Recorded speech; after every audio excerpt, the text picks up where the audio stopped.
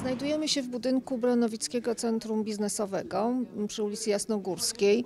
E, Jest to miejsce specyficzne, jeżeli chodzi o działalność biurową, bo zlokalizowane w sąsiedztwie Jury Krakowsko-Częstochowskiej, więc wspaniałych terenów zielonych. E, Szukaliśmy dla naszych budynków e, jakiegoś ciekawego projektu ekologicznego. E, Gdy y, zapoznałam się z projektem Pasieka Kraków, stwierdziłam, że byłoby to idealne miejsce do zlokalizowania pasieki i rzeczywiście um, udostęp, chcieliśmy udostępnić ten budynek y, dla projektu i stąd ten pomysł jest tutaj realizowany. Szczęśliwie okazało się, że dach spełnia wszystkie wymogi i mogliśmy zaprosić pszczoły do naszego budynku. W tym rejonie y, jest pewien potencjał jeszcze do wykorzystania dla pszczół. Mamy fantastyczną roślinność y, dookoła. Jeżeli z tego dachu się rozejrzymy, to widać mnóstwo y, robini akacjowej, widać mnóstwo lip, y, widać mnóstwo ogródków jeszcze przydomowych, w których cały czas coś kwitnie.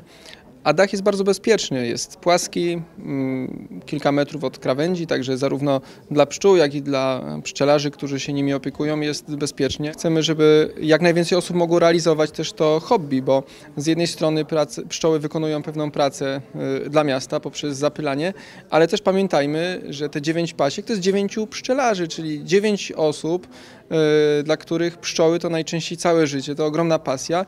I to jest kolejne dziewięć miejsc, gdzie mogą realizować to swoje pożyteczne y, hobby. Nam się wydaje, że tu jest pełno asfaltu i rzeczywiście troszkę jest i jest szum, natomiast to są korzystne warunki dla pszczół wbrew pozorom, bo proszę zobaczyć, jest dach y, bardzo fajny, ma przyjemny żwirek, on się tak nie nagrzewa jak inne dachy w mieście, to nie jest papa czarna. Tu się dosyć przyjemnie pracuje. Jest y, dosyć duży przewiew tutaj, naprawdę sympatycznie, a jak spojrzymy w tamtym kierunku jest y, dużo zieleni, tu wzgórze Pasternik, jest dużo starodrzewiu, dużo lip, dużo klonów, y, także rodziny na pewno tutaj mają się świetnie.